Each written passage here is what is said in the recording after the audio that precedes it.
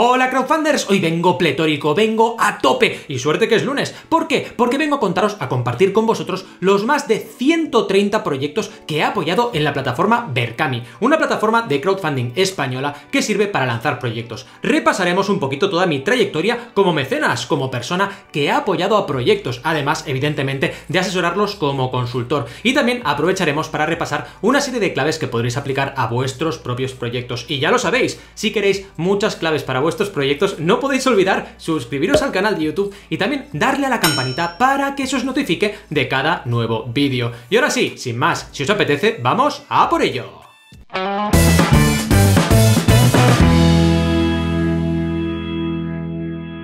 Bienvenidos y bienvenidas al canal de Mana con YouTube.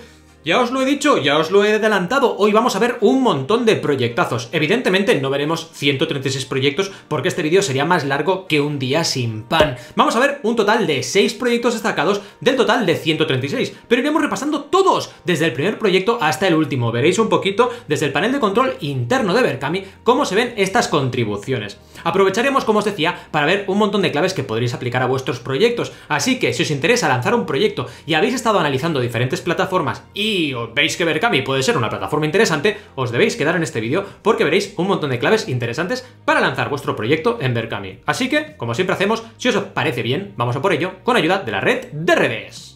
Bien, primero de todo empezaremos con un poco de métricas. ¿Qué ha pasado en este total de proyectos? ¿Cómo ha ido un poquito la métrica de proyectos de éxito y proyectos que han fracasado? Como veis, en total solo han habido 23 proyectos de estos 136 que no han tenido éxito. Esto es un 17% del total. Y con éxito son 83% de los proyectos, es decir, 113. Esto significa que estamos por encima de la media, porque Berkami está ligeramente por encima del 70% de ratio de éxito, que es una ratio de éxito, por cierto, brutal, sin precedentes. Realmente, hasta donde yo sé, es la plataforma de crowdfunding con la ratio de éxito más alta del mundo, porque ya sabéis que por ejemplo en plataformas como Kickstarter la ratio de éxito no llega ni al 40%, así que está muy muy bien que una plataforma pueda contar con esta ratio tan alta. Y como veis en mi propia cartera, porque ya veréis que la mayoría de proyectos que he apoyado son proyectos que he asesorado, pues tenemos la media un poquito por encima, como no podía ser menos, sino vaya birria de consultor sería.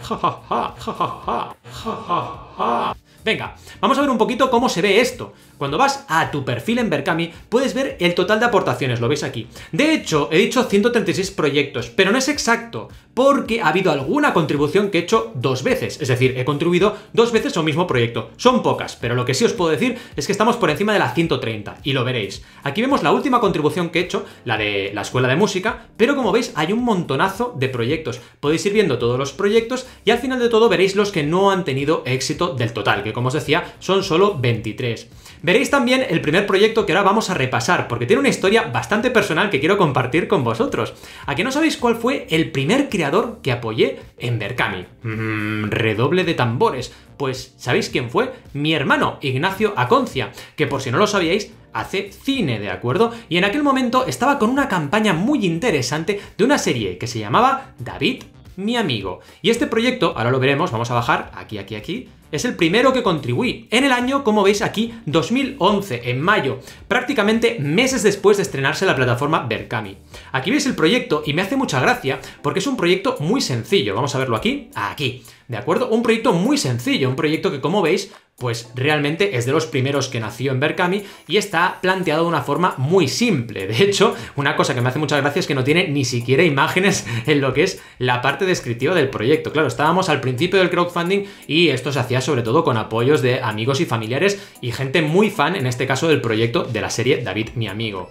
Bien, cosas importantes antes de repasar un poquito este caso en concreto. Pensad que en total como consultor en Berkami llevo ya ni más ni menos que 100 campañas de éxito. Lo podéis ver esto aquí, ¿de acuerdo? Y es importante también que lo mencionemos porque muchos de los proyectos que veréis hoy son proyectos que también he asesorado como consultor. Fijaos, 100 proyectos ya con éxito y 19.000 mecenas. Y además, más de 800.000 euros recaudados con estos proyectos. Estos son datos muy, muy, muy, muy importantes para mí, que realmente quería compartir con vosotros. Y una vez más, como decíamos, esto es una ratio de éxito por encima de la media, es decir, hay muy pocos de estos proyectos que eh, de los proyectos totales estrenados en Berkami por mi parte como consultor que no hayan tenido éxito. Así que estos 100 éxitos son también la mayoría, la gran mayoría de proyectos, más del 80%, que se han lanzado en Berkami. ¿De acuerdo? De mi cartera. Ya sabéis que también trabajo con Kickstarter, Indiegogo, Goteo, Lanzanos y otras plataformas también de inversión. Bien, ahora sí, vamos un poquito a repasar, David, mi amigo, como os decía, eran otros tiempos, ¿de acuerdo? Estábamos hablando del 2011, evidentemente acababa de empezar el crowdfunding, y claro, eh, no se trabajaba el crowdfunding como hoy, pero es interesante echar la vista atrás y ver cómo se hacían las cosas entonces. Una cosa muy interesante que podéis observar en el proyecto de David, mi amigo, es que piden ayuda, algo que con el tiempo, ese ayúdanos, se ha demostrado que no es la mejor forma de enfocar una campaña de crowdfunding, sino mucho mejor plantear la palabra colabora. Esto es algo que no había dicho en los vídeos y es importante. Cuando plantees una campaña, el lenguaje es muy importante. Y hablar de colaboración es mejor que hablar de ayuda. Es mucho mejor decir colabora conmigo que ayúdame, por favor, ayúdame, por favor. Cuando tú hablas de ayuda, estás directamente hablándole a tu interlocutor como si fuera en, eh, digamos, mmm, eh, inferioridad de condiciones. Sí, inferioridad de condiciones era la palabra que buscaba. Es decir, como si tú estuvieras, pues, en un escalón más abajo. Y no, no es así. Cuando tú planteas un crowdfunding, estás planteando una colaboración. Tienes unas recompensas que la podéis ver siempre en todas las campañas en la parte derecha. Estás dando un retorno por lo que estás eh, contribuyendo, lo que estás recibiendo como contribuciones. Así que, en definitiva, estás haciendo que la gente participe en tu proyecto, forme parte del mismo. Vamos a por otro proyecto más, porque tenéis, ya os he dicho, seis proyectos. El juego de Berkami, que este, el primero y el segundo, fijaos que, claro, cuando mi hermano lanzó la campaña todavía no era consultor, estaba planteando el lanzamiento de mi propia plataforma de crowdfunding, así que estos primeros no soy consultor yo de las campañas, ¿de acuerdo? El juego de Berkami es muy interesante porque es un proyecto que hicieron desde Berkami muy potente de un juego de mesa para enseñar a hacer crowdfunding. Este proyecto también es de los primeros que participé y también de los primeros en estrenarse. Y como veis, es un eh, juego de mesa que lo que pretende es primero la difusión del crowdfunding, la comprensión de cómo funciona el crowdfunding y también muy interesante, estrena, bueno, estrena, pero vaya, fue de los primeros, de una categoría que está funcionando a las mil maravillas en crowdfunding, que es la categoría de juegos de mesa. Estamos preparando ahora el lanzamiento de un juego de mesa que espero que tenga un éxito bestial, porque realmente es una categoría que me apasiona. Colaboro con Pac Gallego, que también colaboró en este proyecto, que es un crack de los juegos de mesa y un consultor especializado en este tipo de juegos. También tenéis una entrevista muy interesante con Pac en mi canal, así que ya sabéis, si queréis saber mucho de juegos de mesa, debéis ir a esta entrevista y echarle un vistazo. Como veis, el proyecto también es muy sencillo, porque no es como hacemos ahora el crowdfunding, es un proyecto que, digamos, es de los no de los primeros, pero sí todavía faltaba mucho por desarrollar en lo que es técnicas de crowdfunding. Pero aún así es un proyecto que debéis tomar referencia porque lo hizo la propia familia Berkami, Jonas, Adrià y Juan, con Pac Gallego. ¿De acuerdo? Bien, seguimos, porque una cosa muy importante de Berkami es que comprendáis que no solo es para temas culturales. Hemos visto de momento un juego de mesa, hemos visto de momento un documental, perdón, una serie es que he dicho documental porque mi hermano sobre todo hace cine documental, ¿de acuerdo? Pero lo que hizo en ese momento fue una serie web, una web serie. Pero hay proyectos de emprendeduría y dentro de mi cartera la gran mayoría de proyectos son de emprendeduría y aquí tenéis a Bamboo Bikes Barcelona uno de los primeros proyectos que asesoré como consultor y además un proyecto que marcó un hito muy bestia, que fue el 100% en 12 minutos. ¿Esto cómo se consiguió? Pues con el OMV, que ya sabéis muchos de qué va esto, ¿verdad? Objetivo mínimo viable. Planteamos en este proyecto, que como decía son bicicletas de bambú, un objetivo de mínimos. Y esto es súper interesante y muy importante que hagáis en vuestras campañas de crowdfunding. Siempre, siempre, siempre que podáis, plantead un objetivo de mínimos. ¿Aquí por qué se podía hacer un objetivo de mínimos? Básicamente porque estamos hablando de un proyecto que, como veis en estas bicicletas, el cuadro es de bambú y es muy interesante cómo se planteaba. Se planteaba con una producción artesanal. Si tú realmente puedes producir artesanalmente bajo demanda, tu objetivo puede ser bajo porque no tienes un coste fijo muy alto que acometer. Y en ese sentido estaba bien planteado el proyecto porque lo que no debes hacer nunca es plantear un objetivo más alto porque eh, cuanto más pida mejor. No, plantea un objetivo de mínimos y a partir de ahí, ¡pum!, superas tu objetivo. También es muy interesante en este proyecto, que es algo muy especial y que también debéis tener en cuenta, que eran dos emprendedores que acababan de empezar, Mark y Mariona. Entonces, no os tiréis nunca para atrás, ni piedras encima del tejado, porque acabéis de empezar, porque tengáis en, comparativa con otros proyectos pocos recursos. Simplemente intentad minimizar ese objetivo de recaudación y podréis plantear una campaña viable.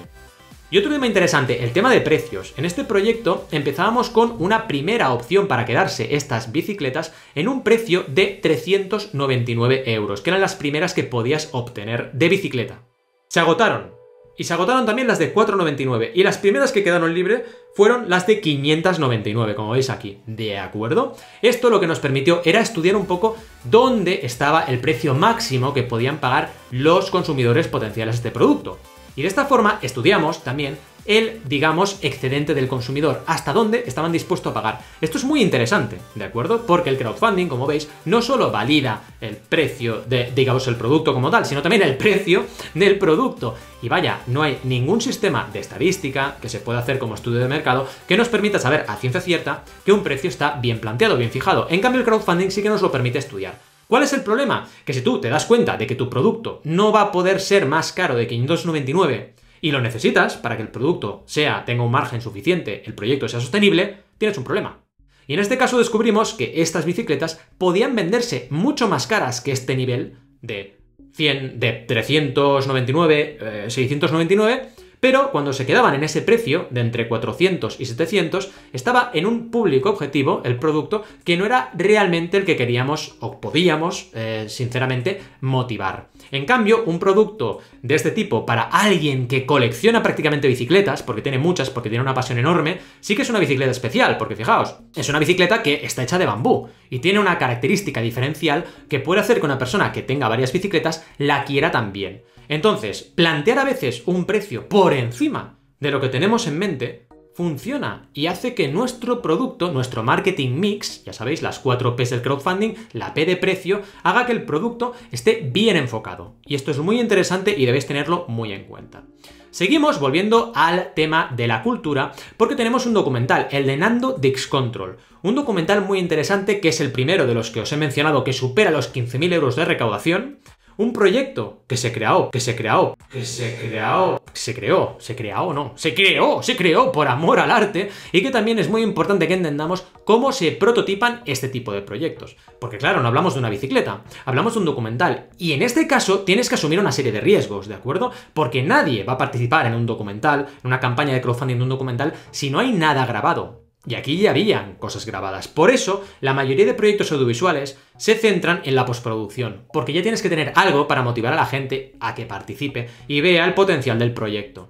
Un proyecto interesante que también tiene una comunidad muy grande detrás, porque los fans de Nando Dix Control y de este tipo de música, esta música mitiquísima, pues es una comunidad que todavía sigue muy viva y es gente que por nostalgia también quiere participar en este tipo de proyectos.